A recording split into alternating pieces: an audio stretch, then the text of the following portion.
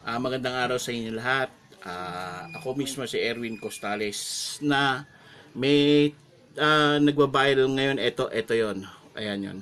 Pero hindi po yan yung original kasi peki po yan. Wala mismo sa wall ko yan. So, ito po yung original na yan. Ayan po kung makikita nyo. Ito lang. Kung makikita nyo po yan. I-release ko lang po yung brightness. Ayan po yan. Yan po yan. Yan. Yan. Ako po yan. Diyan po kinuha yung picture. Yan po. Ngayon, para mapatunayan po na na hindi ko post yun kasi wala naman sa wall ko yun.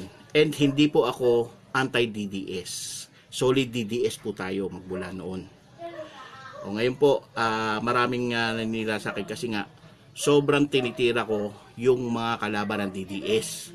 Sobrang dinidiin ko rin sila. Kaya, ayun, uh, kiniklear ko lang sarili ko, hindi po ako yun. Fake news po yun.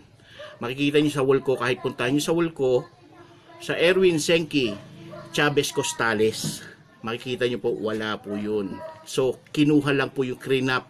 Sana po etong uh, peki na nagkakalat ng picture, pakiusap ko sa NBI tsaka sa ano, sana matrace po yun.